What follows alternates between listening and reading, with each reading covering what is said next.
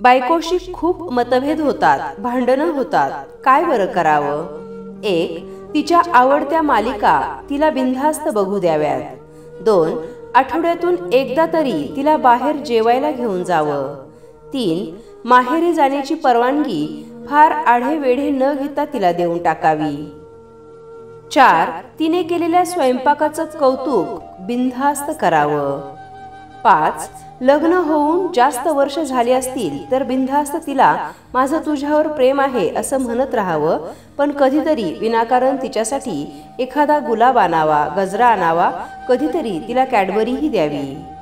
सहा मतभेदाचे विषय असतीलच तर मुलांसमोर अजिबात काढायचे नाहीत हा नियम कटाक्षाने पाळावा.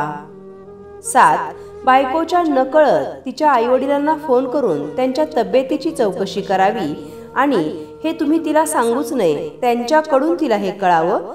आठ फेसबुक व्हॉट्सॲपला तिच्यासोबत असलेलेही फोटो शेअर करावेत.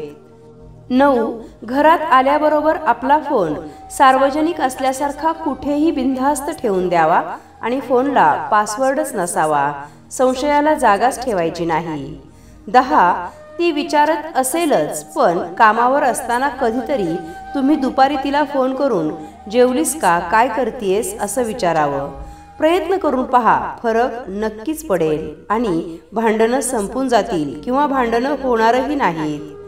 दररोज सुंदर विचारांची सुदोरे ऐकण्यासाठी चॅनलला जरूर सबस्क्राईब करा.